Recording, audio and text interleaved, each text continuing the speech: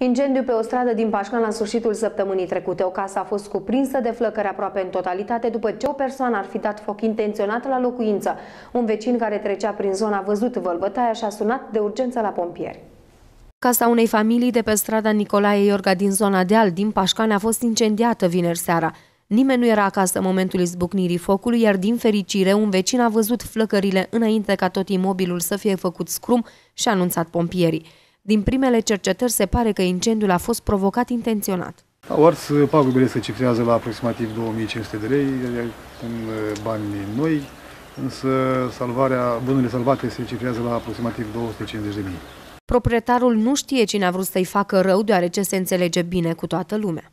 O da foc, o trecut un om pe stradă, cât aș fost șasul, nu știu, cred că.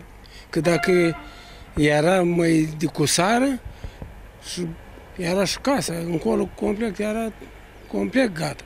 Dar au fost mai din timp și omul și ăla când a văzut flacără, a văzut de acolo partea din stradă, partea a văzut flacăra deasupra. Și a dat telefon la miliție, la 112.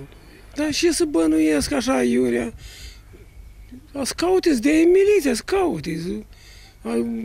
Vinovatul, eu, pe ce să spun? În urma incendiului au ars 30 metri pătrați din acoperiș și mai multe bunuri din două încăperi. Polițiștii fac cercetări pentru a stabili cum s-a produs nefericitul eveniment.